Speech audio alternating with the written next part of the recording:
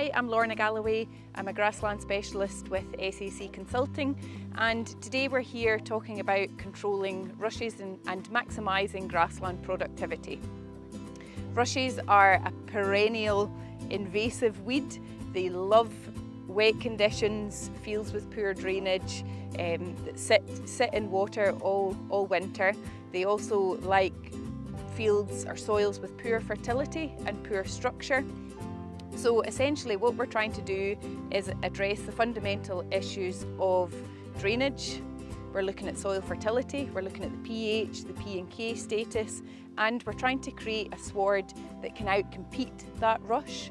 Rushes are very prolific. Um, they can seed six, they can shed 60,000 seeds per year and those seeds can live in the soil for up to 60 years. So it is an ongoing battle and really it is, it's a, it's a battle of the grass versus the rush plant.